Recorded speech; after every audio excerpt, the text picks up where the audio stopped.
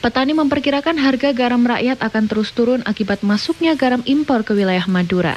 Hal ini terbukti sejak beberapa hari yang lalu harga garam turun mulai dari harga garam sebelumnya Rp2.700 per kilogram menjadi Rp2.500. Bahkan per hari ini di bulan Januari 2018 harga garam turun mencapai Rp2.000 per kilogramnya. Menurut Haji Kodir, petani garam rakyat mengatakan, jika garam impor masuk ke wilayah Madura, maka garam rakyat akan terancam tidak laku di pasaran.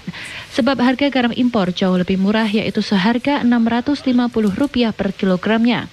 Dari Australia itu kemungkinan besok masuknya. Kemungkinan besok tanggal 30. Dari India tanggal 2. Sementara DPD RI Mawardi mengatakan pihaknya turun langsung ke petani garam ingin memastikan bahwa garam tersebut masih banyak di petani. Dari hasil tersebut gudang garam milik petani garam sebanyak 2.500 ton yang masih belum dibeli oleh pemerintah. Kalau impor ini terus dilanjutkan, sementara garam rakyat tidak terbeli seperti ini, otomatis garam rakyat akan mati. Mawardi menambahkan masuknya impor tersebut ke wilayah Indonesia, terutama di Madura sangat memprihatinkan, sebab garam petani akan semakin turun harganya dan akan tidak laku di pasaran. Rosi Abdillah, CTV. Pemirsa,